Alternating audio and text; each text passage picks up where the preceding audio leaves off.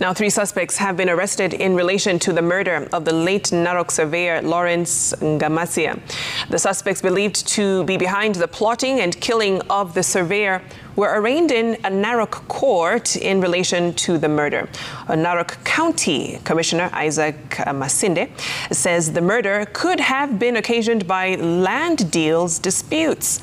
Well, the victim was murdered last Thursday outside his home in K24 Estate, Narok County, and the suspects sparking protests and destruction of properties as Narok residents called for the apprehension and prosecution of those behind the killing. The deceased had left behind a wife and three-year-old child.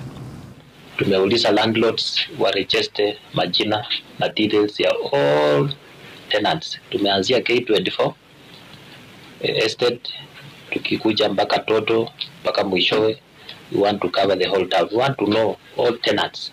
Most likely wale watu wanaibia watu ni wengine wamekotisha manyumba, lakini hawana kazi maalumu wanafanya.